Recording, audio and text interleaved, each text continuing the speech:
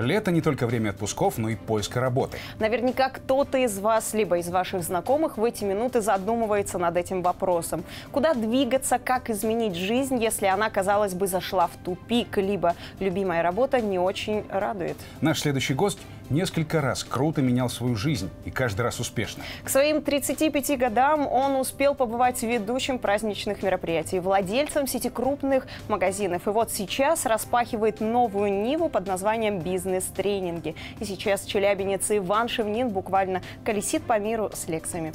Мы пригласили его, чтобы спросить, в чем секрет успеха и где взять деньги для Да. стартапа.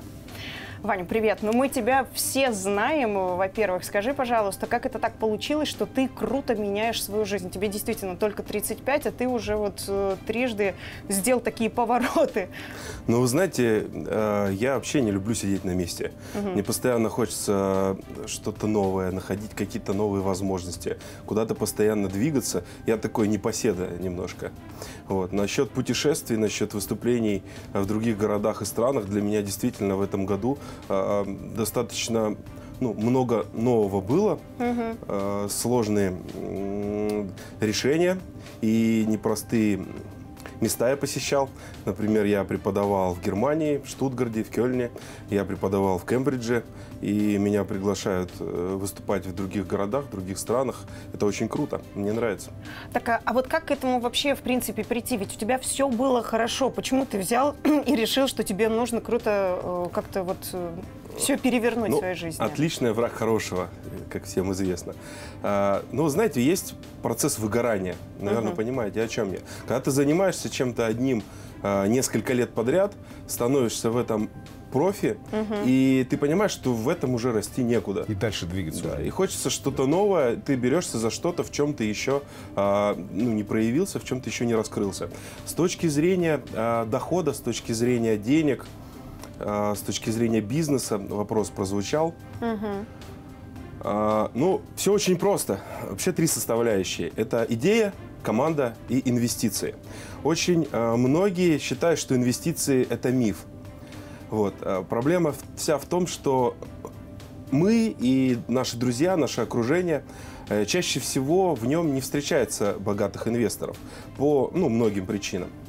Вот. Но я хочу сказать, что люди, с которыми я общаюсь, э, бизнесмены, в том числе успешные, те, которые э, уже являются миллионерами и миллиардерами, они приходят к такому моменту, что у них э, мало энергии, и им тоже хочется как-то проявляться в каких-то новых направлениях, в новых бизнесах попробовать, э, попробовать э, что-то создавать, но своих сил, своего времени уже на это не хватает. То есть возможности есть, но как-то вот реализоваться не получается. И они ищут людей, молодых ребят, активных, которые хотят что-то пробовать, создавать какие-то бизнесы, но у ребят пока нет денег. Вот, поэтому первый мой совет это найти инвестора. А, Чтобы найти инвестора, нужно ну, как минимум 100 человек обойти, предложить, да, попросить инвестиции у 100 человек. Потому что очень часто люди, принявшие решение а, найти инвестиции, привлечь их, останавливаются на двух, трех, пяти, ну, максимум 10 человек из окружения опросят и скажут, нет, ничего не получилось, на этом остановятся. Поэтому это труд. Найти инвестора так же непросто, как найти... То есть это не просто обойти 100 человек, это 100 раз услышать «нет». Да, Да. да, да. Ну а вот э, еще хочется узнать, все-таки ты придумал вот эту вот огромную большую идею, но нельзя ведь идти э, напрямую, как бы правильно, с этой огромной идеей. Надо ее как-то разбить или что нужно сделать, чтобы к ней все-таки дойти до нее? Ну, самое главное вообще нарисовать для себя точку Б. То есть, когда ты хочешь ну, жить как-то по-новому, хочешь какие-то новые м, возможности получить, а, не знаю, новую квартиру, новый дом, новую машину, новый бизнес, больше денег, финансовую независимость. а, невозможно добиться новых результатов, делая все то же самое, что ты делал раньше. И самое главное здесь это влюбиться в точку Б. То есть найти, э, нарисовать ту картинку, в которой ты бы хот- куда бы ты хотел прийти, влюбиться в нее, э, влюбиться до безумия так, чтобы ну, не хотел жить без нее, понимаете?